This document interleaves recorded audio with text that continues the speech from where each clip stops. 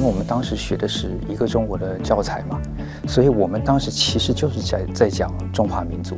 跟现在我觉得其实大陆这也讲，我觉得挺好，两边是契合的。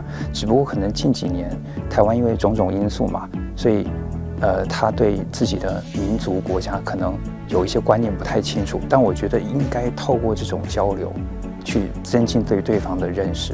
你像我来内蒙以后，跟蒙古族同学，我们可以在一块聊摔跤、聊射箭，因为我本身也学传统武术嘛。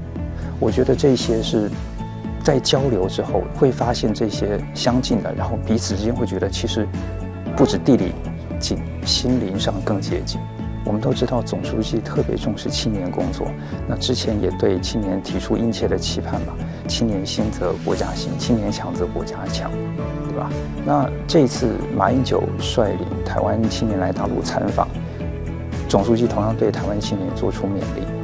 那我作为在边疆地区工作的大学老师，我一方面积极的参与两岸交流，推动蒙台青年的交往交流；另外一方面是完成我的本职工作，透过教学，让青年们健康成长。两岸青年好，两岸的未来才会好。